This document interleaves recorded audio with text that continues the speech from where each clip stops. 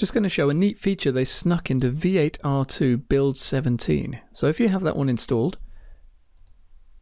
you can create a macro. So I'm going to create a new group called circuits.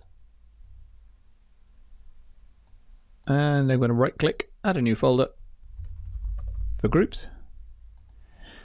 And I'm going to select some elements on the page.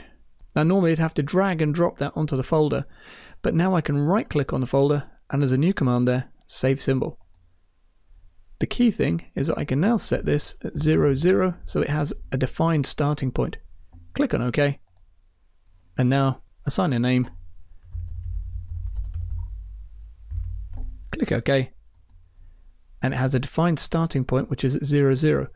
If I was to create a new project, I'll just simulate it just by creating a new page. Click to place it, and instead of inserting it manually, I hit the spacebar. Now I can type 00, zero, and I know it's on the same place on the page.